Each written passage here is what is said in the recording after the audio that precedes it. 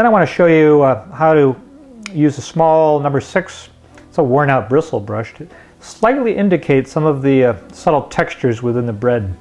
And that'll, that'll add an interesting uh, dimension and richness to the surface. And then a, a, little bit with the jaggedness, the jagged edge of the uh, front lines of the bread. We're going to take some of the uh, cool tone from the background and move it into the bread. Slightly vary the edge. So I mentioned earlier on you can take a brush, all, all this paint up here is all wet. I can take some of that tone on my smaller brush and use it to introduce into this wet paint here to show some of the subtle little textural indentations in the bread. And then I can move my brush back and I don't mind what happens up here. I don't mind if uh, element of abstraction appears up here within the brushwork and tonality. And I can take that and move it down like this. So just subtly uh, create this warm, cool relationship on a small scale.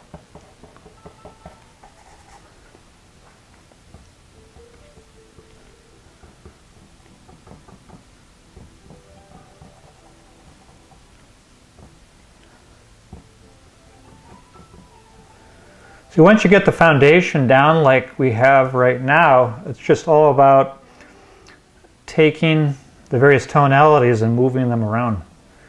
Grabbing paint from one spot and just moving it over to another.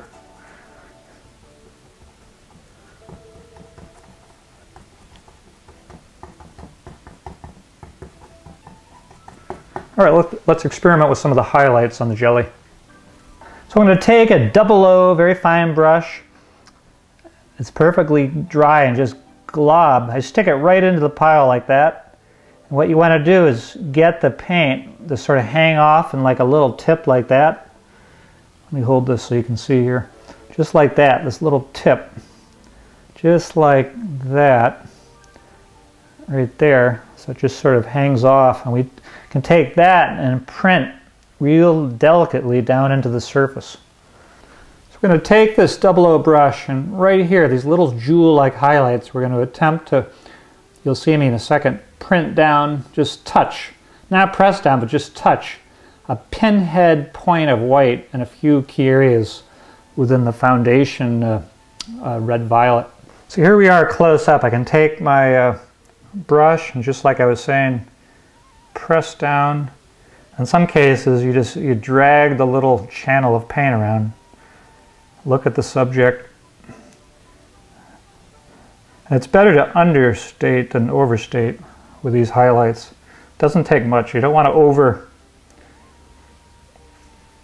scale the mark. I like to look at the mark, focus on the exact or approximate organic shape of the highlight, and then try to mimic that through a gesture. Get the quality, quality of the mark.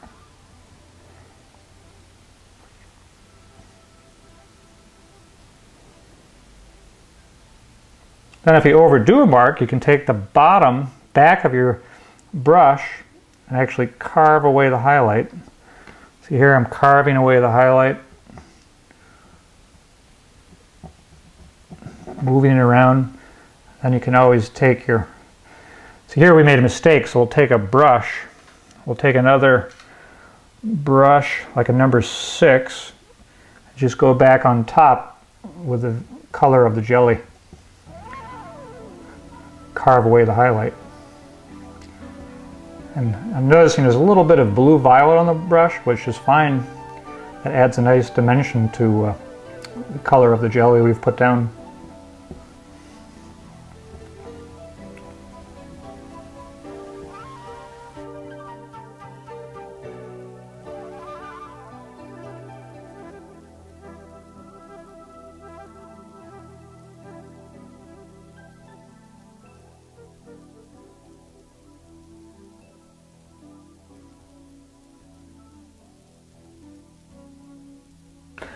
Okay, we're going to end with a few final touches where the light hits the side here. I want to key up some of the yellow ochre yellow to bring out some of the light and a few of the warm spots. And then we'll move on to the next uh, demonstration. So small amount of this uh, ochre. So a few spots, the very high parts of these clumps of peanut butter, I just want to introduce a key shape of yellow ochre. This is essentially tinted. Then I mentioned over here some of this, bring in a little bit in here just to key up part of it. And down here. It's interesting how the, the bread here, the light hitting the bread is very similar to the, the value in light hitting the peanut butter. Be a little bit back here.